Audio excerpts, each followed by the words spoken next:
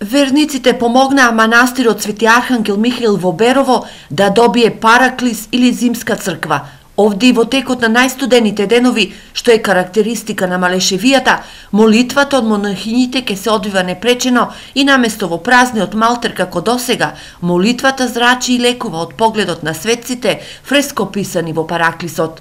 Исто така направивме со донација од граѓаните света трпеза, масиче за проскомидија, певница, икона на Свети Григори Палама, икона на Богородица и многу сум им благодарна на сите православни христијани.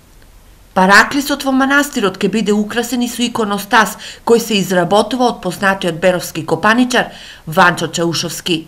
Најважно е тоа што имаме секој ден богослужби кои ги извршува јеромонах. За овие големи великденски празници старата црква е подготвена и украсена ги чека посетителите овде да дојдат и да си го најдат својот душевен мир. Овој манастир е еден од најпосетуваните верски објекти во Малешевијата. Манастирот го посетуваат од секаде.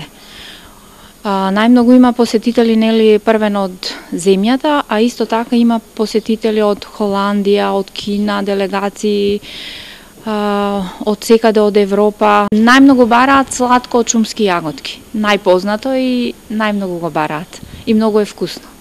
Женскиот Беровски манастир во себе крие два века долг монашки живот, символ е на македонскиот непокор и борба за слобода, но во денешно време со години чека реконструкција на кровот, проблем кој монахињите го носат на своите неаки плеќи. Ке ја слушнат ли надлежните нивната велигденска молитва за воскреснување на манастирот.